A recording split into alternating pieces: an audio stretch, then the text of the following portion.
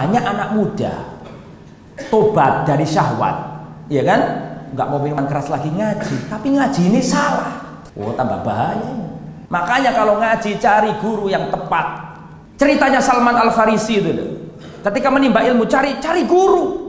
Datang ke Syam manakah orang yang paling paham tentang agama Nasrani? Cari. Ketika ganti orang jahat, ganti orang baik, tanya kepada siapa lagi aku berguru. Tidak ada lagi wahai anakku orang seperti aku kecuali fulan. Pergilah ke tempat itu. Berarti Salman Al Farisi ketika hijrah pilih guru yang benar. Paham? Kalau mau hijrah cari guru yang benar. Ustaz, tapi kan kebenaran harus diterima dari siapa saja Ustaz. Jangan lihat yang ngomong Ustaz. Harus kebenaran siapa pun harus kita terima.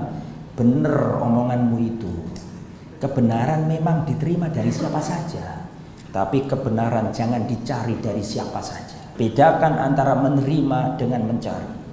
Paham? Kalau antum pergi ke tempat sampah, ternyata di tempat sampah itu ada emas, ada uang 10 ribu, ambilen. Tidak apa-apa. Tapi jangan ngomong ke manusia, pergilah ke tempat sampah, Barangkali di sana ada emas. Paham nggak perbedaannya?